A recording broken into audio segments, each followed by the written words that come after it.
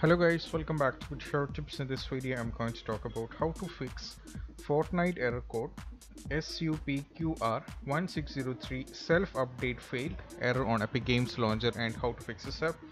So let's get started. So first thing what you have to do is you just have to open your Google Chrome. Then over here you have to start. You have to uh, search for Microsoft.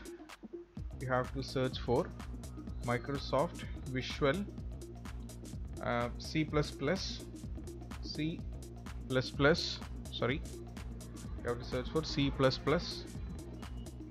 uh, 2010. You have to search for 2010, and you have to go for uh, this one. Okay. Now you have to open this, and from here, as you can see that this is how it looks.